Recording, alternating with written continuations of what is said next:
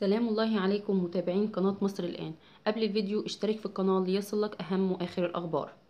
أثبتت نتائج تحاليل الحمض النووي أن طبيب هولندي متخصص في عمليات التخصيب هو الأب الفعلي ل 49 طفل.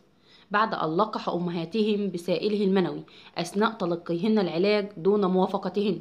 وكشف تحاليل الحمض النووي أن الطبيب الذي توفي منذ عامين خص بسائله المنوي أمهات هؤلاء الأطفال في عيادته الخاصة. وقال أحد هؤلاء الأطفال أخيرا انتهى هذا الفصل والآن أعرف أن كربات هو أبي. مضيفا بعد 11 سنة من البحث أستطيع أن أواصل حياتي وأشعر بسعادة لأن كل شيء اتضح. وقال مع المحامي الذي مثل 49 طفلا إنه سعيد بما توصل إليه من نتائج بعد سنوات من الشك والغموض. وأضاف معنى ذلك أننا وصلنا أخيرا إلى حالة من الوضوح بالنسبة للأطفال الذين تطابقت أحماضهم النووية.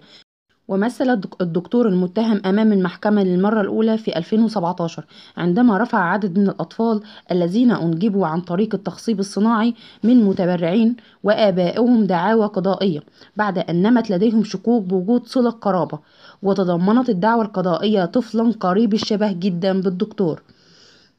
وحصلت السلطات على عينات للحمض النووي من منزل الطبيب في إبريل 2017 بعد وفاته عن عمر يناهز 89 سنة.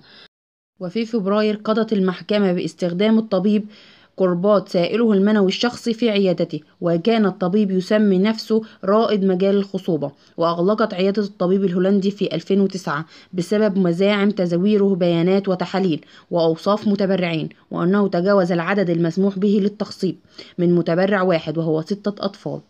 وفي نهاية الفيديو اشترك في القناة ليصلك أهم وآخر الأخبار المصرية والعالمية.